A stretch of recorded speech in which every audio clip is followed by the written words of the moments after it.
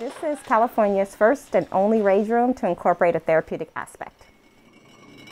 When they go in, a lot of people really find that they're really overwhelmed by like, I can really break things and you know, like there's no consequences for that. Feels great to be able to uh, release. I mean, obviously, uh, these are times we none of us have ever seen before in, in our lifetimes. We're thankful to be able to come to a place like this and be able to break some stuff and release some tension without going to jail. I see teenagers, and the teenagers have been out of school for so long until they're like, I don't even know if I'm ever going to go back. I lost my senior year, so Yeah. I came here to smash stuff.